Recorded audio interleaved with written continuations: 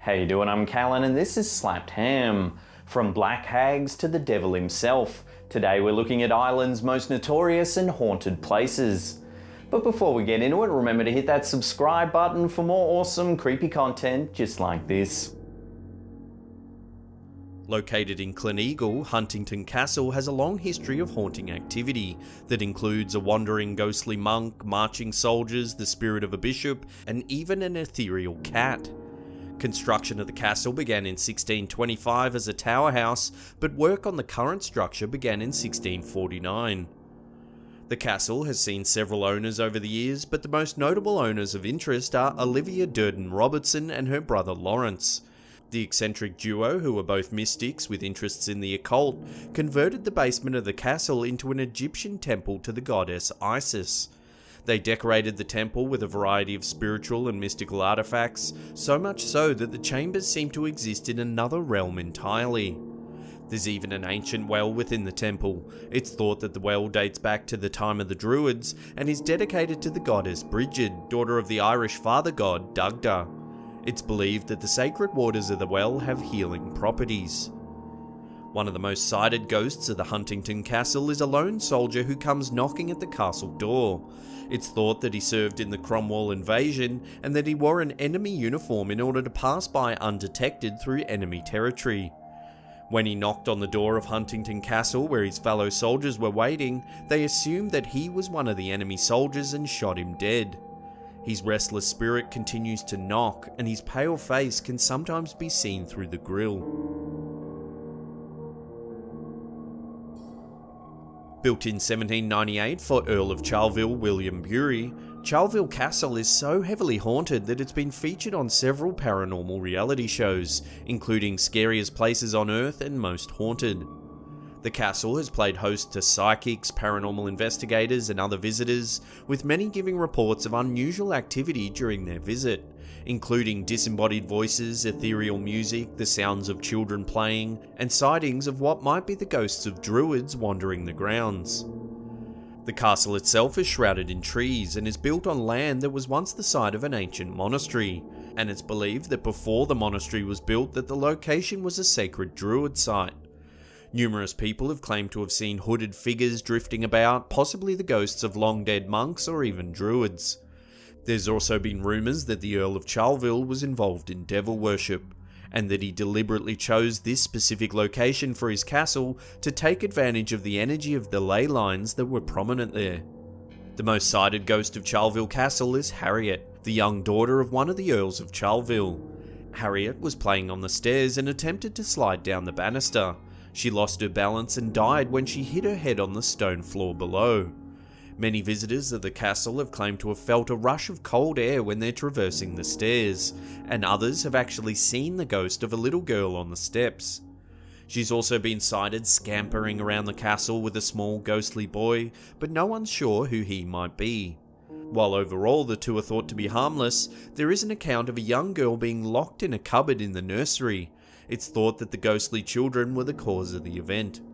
On the flip side, when Bridget Vance purchased the castle in the 1970s, her three year old son disappeared one day. After searching the castle, Vance finally found the boy waiting at the bottom of the staircase. He told his mother that a little boy and girl had helped him make his way safely down the steps. Bridget Vance also reported seeing a procession of robed figures who circled around her bed before offering her a blessing.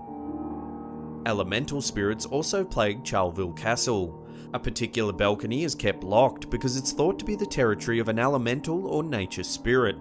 A psychic has warned the owner of the castle that this entity is a dangerous being and wouldn't hesitate to harm anyone who enters its space. The balcony remains locked at all times.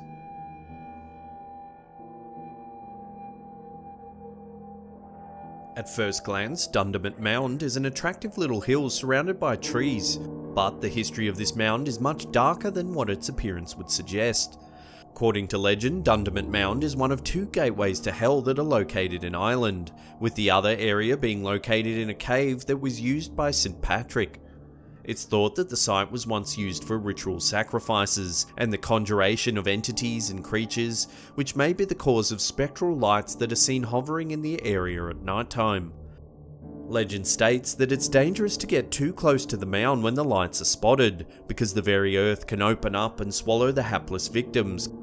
The first evidence of this occurring happened in 1798 to an unfortunate individual named Thomas McHarg, now commonly referred to as Black Tom. Tom and his daughter were travelling by coach on their way to Derry one evening when they were overcome by a terrible storm. Tom decided that he wanted to take a safer route, so he first checked to see if the bridge at Glarryford was intact. When he found that the storm had taken out the bridge, Tom and his daughter headed in the direction of Dundermot Mound. As he drove past, the coach, along with the four horses, Tom and his daughter, were pulled into the mound and swallowed up, never to be seen again. Sometimes a ghostly coach along with four black horses can be seen in the vicinity. Locals say that if Black Tom approaches you in his coach and asks if the bridge is out, you should never answer him. It's thought that those who do will die within a year of the encounter.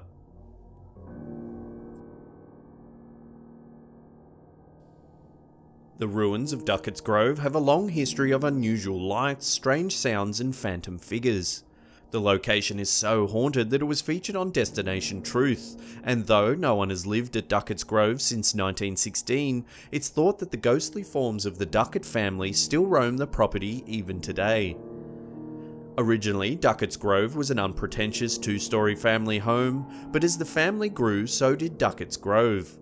In 1830, work began to transform Duckett's Grove into a Gothic revival manor, complete with towers and gargoyle like grotesques to finish the striking building. The owner, William Duckett, hosted lavish parties at the property until his death in 1908. Unfortunately, his widow couldn't maintain the establishment and abandoned it in 1916. There have been a lot of reports of ghostly activity by those who visit Duckett's Grove. The most frightening entity reported is the Duckett's Grove Banshee. Many Irish families claim to have banshees attached to their family line. Most of the time, the wail of a banshee is seen as a warning of a death in the family, but sometimes these creatures can be more malicious. The Duckett's Grove Banshee is the result of a curse placed on the manor and the Duckett family itself. It was placed by the mother of a young woman who had been involved with William Duckett. She was riding a horse on the family grounds and died when she was thrown from her saddle. Her mother wanted the family to suffer, blaming them for her loss, so she sent the Banshee to bring down pain and suffering on the Ducketts. Legends state that those who hear the Banshee wailing from the tower will suffer a family tragedy or even death. Two accounts of the Banshee's work include a woman who heard the wailing and then suddenly died while on the grounds, and a gardener whose mother died the morning after he heard the Banshee's cry. Before we get to that number one spot and take a look at a hotel haunted by a famous poet, remember to hit that subscribe button and turn on channel notifications. That way you'll be completely up to date with all our latest videos.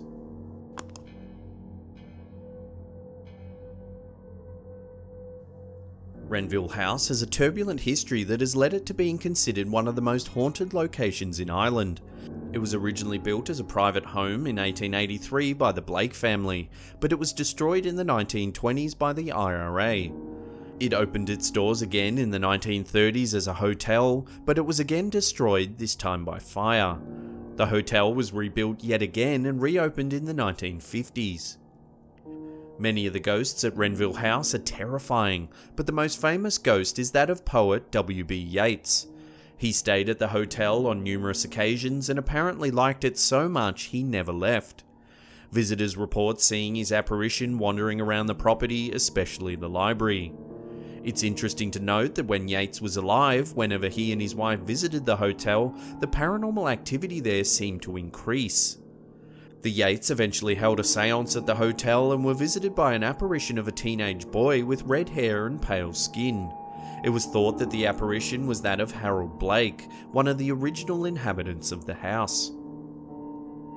Other occurrences at the Renvyle House Hotel include disembodied dragging footsteps, sheets being yanked off beds, chilling gusts of cool air, and lights turning on and off by themselves. An exorcism has even been attempted at Renvyle House Hotel. But when Evan Morgan, now Lord Tredegar, tried to banish the spirits located there, he was thrown to the ground by an unseen presence during his attempt. For more haunted locations, check out our most haunted playlist right there. In the comment section below, let us know if you've been to any of these creepy places. We'd love to hear your stories. And that's it from me. I'll see you all next time.